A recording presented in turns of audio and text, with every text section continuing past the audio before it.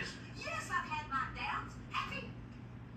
I was a wife and a mother.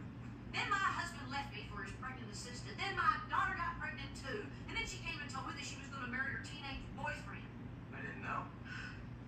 I knew what my life was. And then one day it all vanished. I prayed and I prayed and I prayed. And then one day I just stopped. Why do you tell Van?